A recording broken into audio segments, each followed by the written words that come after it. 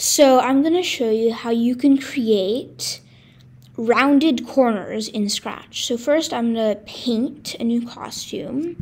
I'm going to name this rounded square. And there's the usual method, which involves just deleting the corners. Why is that like that? Um, and you just delete the corners. So you make two points around the corner and then delete the corner. Make two points around the corner, delete the corner, and so on. And this creates rounded corners, but they're not perfect. Like they're a little bit wonky. And you can spend a lot of time like making them absolutely perfect, but there is a better way. So first what you want to do is delete that and then convert it to bitmap. Now in bitmap mode, click on outlined and I'm to make this. Yeah, it's a good color.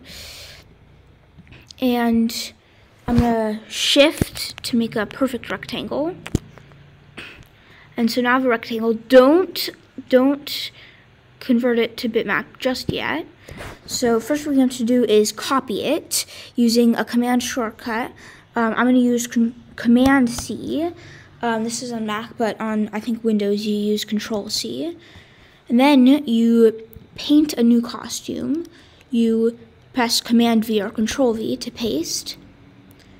And now you can see you have this really weird purple rectangle.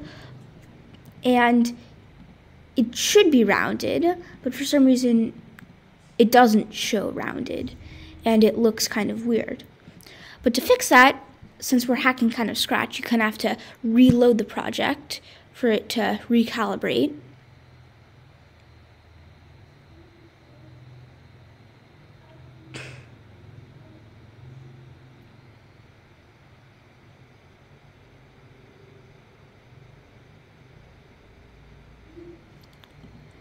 And once you recalibrate it, um, it should show like this and delete this. And now you have a um, rounded rectangle that is actually rounded and not just you delete the points.